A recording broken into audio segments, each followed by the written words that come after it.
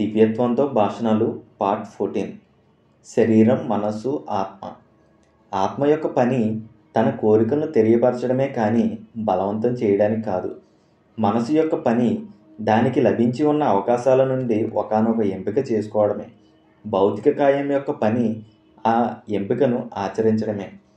ఎప్పుడైతే తనువు మనస్సు ఆత్మ ఏకత్వంలో సృష్టి జరుగుతుందో అప్పుడు దైవం మానవ రూపం దాలుస్తుంది. మనసుకు అంతుపట్టనిది ఆత్మ చక్కగా అర్థం చేసుకుంటుంది. నిజమైన సంబరం అన్నది మనసు నిర్విషయం నిర్విషయం కావడం. మనసులో నకారాత్మక భావాలు ఉంచుకుంటే అది శరీరానికి హాని చేయడమే కాదు ఆత్మకు కూడా భారం అవుతుంది. ఏ ఒక్క అనుభవం కూడా ఆత్మ యొక్క ఇచ్చకు వ్యతిరేకంగా తన దరికి చేరదు.